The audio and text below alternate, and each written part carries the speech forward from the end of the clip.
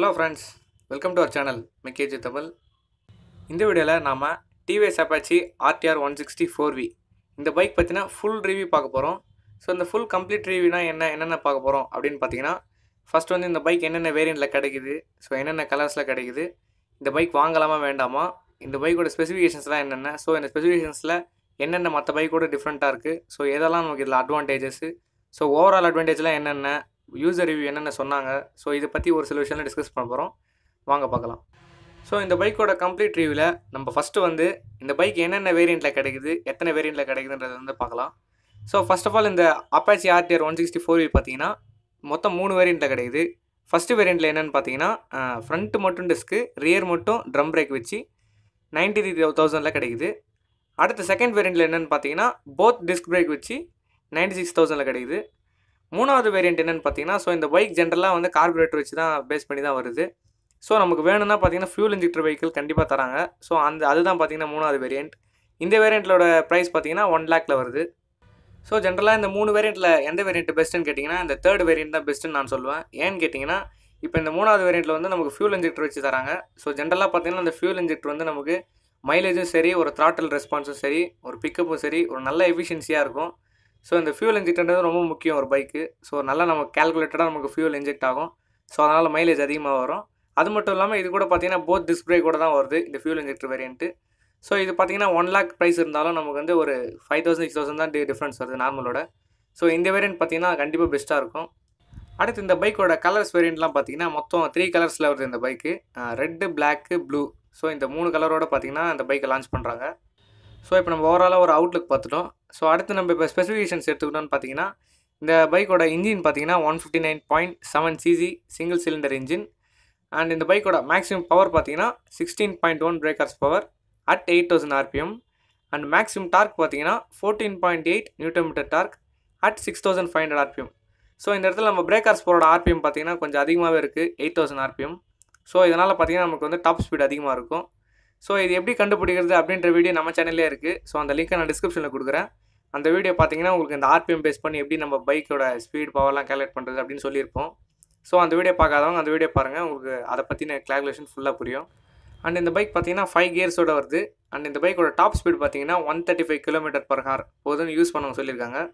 So இது ஒரு நல்ல டாப் ஸ்பீட்னே சொல்லலாம் ஒன் சிக்ஸ்டி சிசிக்கு அண்ட் இந்த பைக்கோட ஆவரேஜ் மைலேஜ் பார்த்தீங்கன்னா ஃபிஃப்டி டு ஃபிஃப்டி ஃபைவ் வருது அப்படின்ட்டு யூஸ் பண்ணவங்க நிறைய பேர் சொல்லியிருக்காங்க. ஸோ நான் எனக்கு தெரிஞ்ச ஒருத்தர் யூஸ் பண்ணவரும் அவரும் அதே தான் சொல்லியிருக்காரு. ஃபிஃப்டி கிலோமீட்டர்லேருந்து ஃபிஃப்டி ஃபைவ் வருது அப்படின்னு சொல்லியிருக்காரு. ஸோ ஒரு சிங்கிளாக ஒரு நான் நான் லாங்கில் ட்ரைவ் போனீங்கன்னா கண்டிப்பாக ஃபிஃப்டி ஃபைவ் மேலேயே தரும்னு சொல்லியிருக்காரு.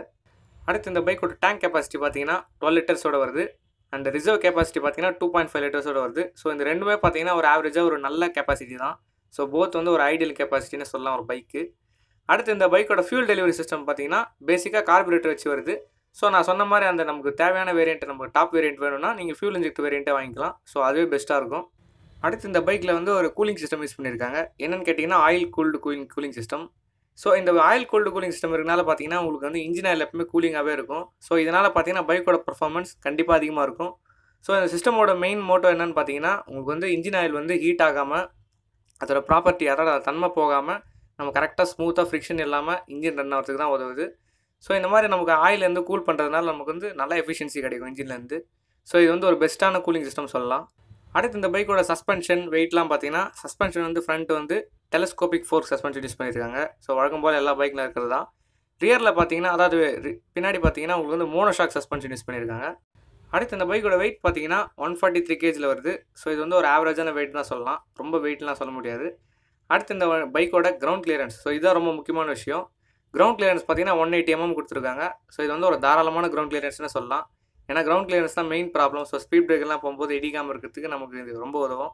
ஸோ ஒரு தாராளமான கிரவுண்ட் கிளியரன்ஸ்னு சொல்லலாம். ஸோ டோட்டலாக இந்த பைக்கோட ஃபுல் ஸ்பெசிஃபிகேஷன்ஸ் நம்ம பார்த்துட்டோம். ஸோ இந்த பைக்கோட அட்வான்டேஜஸ் அப்படின்றப்ப பார்க்கும்போது பார்த்தீங்கன்னா ஸோ இந்த பைக்கோட ஸ்பெஷலாக கம்பெனி தரப்புலேருந்தே இதோட ஆக்சிலரேஷன் வந்து குறிப்பிட்டு சொல்லியிருக்காங்க. என்னென்னு பார்த்தீங்கன்னா ஜீரோ டு சிக்ஸ்டி ஸ்பீடு வந்து பார்த்தீங்கன்னா ஃபோர் பாயிண்ட் செவன் செகண்டில் வந்து டச் பண்ணுது அப்படின்ட்டு கம்பெனி தரப்புலேருந்தே சொல்லியிருக்காங்க டெஸ்ட் பண்ணி. ஸோ இது வந்து ஒரு பெரிய அட்வான்டேஜ்னு சொல்லலாம். நிறைய பேர் பார்த்தீங்கன்னா ஒரு நம்ம ஒரு ஒரு டாப் பிக்கப் எதிர்பார்ப்பாங்க. ஸோ அந்த மாதிரி எதிர்பார்க்குறவங்களுக்கு பார்த்தீங்கன்னா இது ரொம்ப பெஸ்ட்டாகவே இருக்கும். அடுத்து இந்த பைக்கில் சொல்ல வேண்டிய முக்கியமான அட்வான்டேஜ் என்னென்னு கேட்டிங்கன்னா பைக்கோட மைலேஜ் தான். ஸோ நிறைய பேர் யூஸ் பண்ணவங்க ரிவ்யூஸில் பார்த்தீங்கன்னா இந்த பைக்கோட மைலேஜ் தான் ஸ்பெசிஃபிக்காக சொல்லியிருக்காங்க. ஸோ நான் கேட்டவரும் அதே தான் சொல்லியிருக்காரு. ஸோ இந்த பைக்கோட மைலேஜ் வந்து ஃபிஃப்டி ஃபைவ்ல மேலே வந்து கன்ஃபார்ம் தருது. ஆவரேஜாக பார்த்தீங்கன்னா ஃபிஃப்டி ஃபைவ் மேலே கன்ஃபார்ம் தருது அப்படின்னு சொல்லியிருக்காங்க. ஸோ இது வந்து ஒரு பெரிய அட்வான்டேஜ்னே சொல்லலாம்.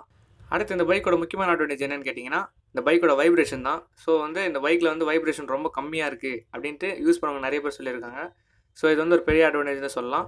அது மட்டும் இல்லாமல் இன்னொரு அட்வான்டேஜ் என்னென்னு கேட்டிங்கன்னா ரைடிங் பொசிச்சர் ஸோ இது பார்த்தீங்கன்னா ஓட்டும் போது வந்து உங்களுக்கு பேக் பெயின் வராது அப்படின்ட்டு கொஞ்சம் நிறைய பேர் சொல்லியிருக்காங்க. ஸோ கொஞ்சம் ஈஸியாக இருக்குது கம்ஃபர்ட்டாக இருக்குது ரைடிங் அப்படின்னு சொல்லிட்டு சொல்லியிருக்காங்க. ஸோ இதுவும் பார்த்தீங்கன்னா நமக்கு அனதர் பெரிய அட்வான்டேஜ் தான் இந்த பைக்கில் ஸோ இந்த பைக்கோட ஃபைனல் அட்வான்டேஜ் என்னென்னு கேட்டிங்கன்னா எக்ஸாஸ்ட் சவுண்ட் தான். ஸோ நார்மலாக நீங்கள் ரோட்டில் இந்த பைக்கை பார்த்துருந்தா கூட உங்களுக்கு தெரிஞ்சிருக்கும். சவுண்ட் வந்து ரொம்ப வித்தியாசமாக இருக்க மாதிரி இருக்கும். ஸோ இந்த பைக்கோட எக்ஸாஸ் சவுண்ட் வந்து அவ்வளோ அற்புதமாக இருக்குன்னு சொல்லலாம். நிறைய பேர் சொன்ன அட்வான்டேஜும் அதுதான். ஸோ எக்ஸாஸ் வந்து ரொம்ப சீனாக இருக்குது ரொம்ப சூப்பராக இருக்குது அப்படின்னு சொல்லியிருக்காங்க.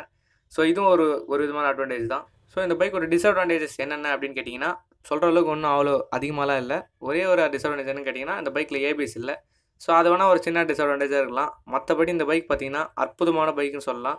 ஸோ பவர்லேருந்து நான் கம்பேர் பண்ணதில் பார்த்தீங்கன்னா ரொம்ப ரொம்ப அற்புதமாக இருக்குது இந்த பைக்கில் ஸோ இந்த பைக்கை ஃபைனலாக வாங்கலாமா வேண்டாமா அப்படின்னு கேட்டிங்கன்னா என்னை பொறுத்த வரைக்கும் கண்டிப்பாக வாங்கலாம்னு சொல்லுவேன். ஏன்னா இப்போ வர பைக் செக்மெண்ட்டில் பார்த்தீங்கன்னா ஒன் லேக்கில் வந்து உங்களுக்கு ஒரு நல்ல ஒரு one sixty CC bike naked sport பைக்குனே சொல்லலாம் அது. ஸோ இவ்வளோ ஸ்பெசிஃபிகேஷன்ஸாக நல்லா அதிகமாகவே இருக்குது தாராளமாகவே கொடுத்துருக்காங்க. ஸோ டாப் ஸ்பீட்லேருந்து பிக்கப்லேருந்து எல்லாமே யூஸ் பண்ணவங்க சொன்னது பார்த்தீங்கன்னா ஒரு பெஸ்ட்டாக சொல்லியிருக்காங்க. ஸோ என்னை பொறுத்த வரைக்கும் பார்த்தீங்கன்னா அது கண்டிப்பாக வாங்கலாம். ஸோ நல்ல பைக்காக இருக்கும். ஓகே ஃப்ரெண்ட்ஸ் இந்த வீடியோ பிடிச்சிருந்தா லைக் பண்ணுங்கள் ஷேர் பண்ணுங்கள் அடுத்து உங்களுக்கு என்ன வீடியோன்றதை கமெண்ட் பண்ணுங்கள் நான் உங்களுக்கு அடுத்த வீடியோ அதை பற்றி எக்ஸ்பிளைன் பண்ணுறேன் நன்றி.